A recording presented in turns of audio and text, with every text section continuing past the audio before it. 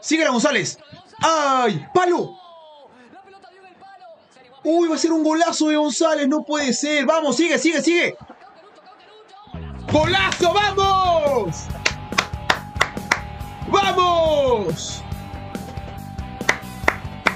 Martín Cauterucho anota el 1-0 para Sporting Cristal en el Callao y el cuarto en el campeonato. El delantero uruguayo anota un nuevo gol para Sporting Cristal. ¡Vamos!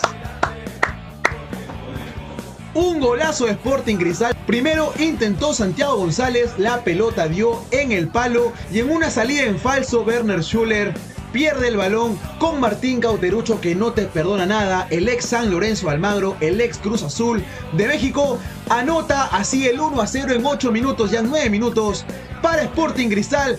¡Fuerza Cristal, vamos!